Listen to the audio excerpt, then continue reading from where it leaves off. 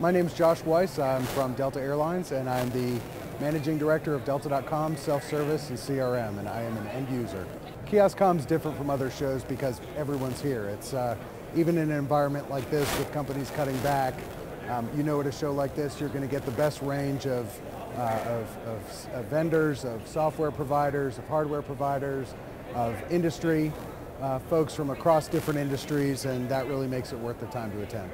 Coming to KioskCom lets me interact with others from my industry who are facing similar challenges, um, but also lets me interact with those from different industries that um, they may have very different business models, but um, but are also facing similar type opportunities and challenges. So that's one thing, and then to know uh, what everyone is offering in terms of different solutions, all here in one place, so you can really compare them against each other uh, is an excellent opportunity. I chose to present at KioskCom uh, because uh, it was an opportunity to, to really share ideas with, uh, with a valuable audience, um, but also self-interestedly um, to have a look at what else was going on in the self-service space. And this is uh, a conference that's known to really offer uh, a lot of great opportunities in that area. So, and, and I like to get out and share what we're working on at Delta with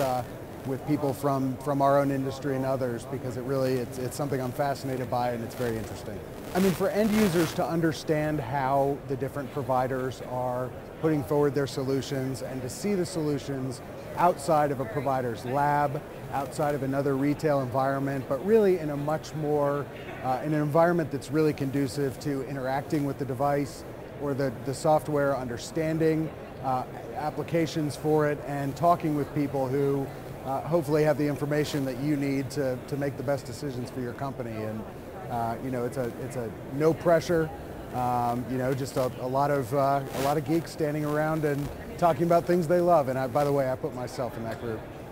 There are other shows that have uh, that have great value, but honestly, these days there aren't any I'm aware of that have this magnitude of engagement from so many different providers and, uh, and industries. And I think the attendance um, this year of all years, with the economy being the way it is, to see so many people turn out means that people aren't considering this as, as discretionary so much as a real opportunity to find out what they, you know, technology they can deploy that is going to help their business get where they want to be.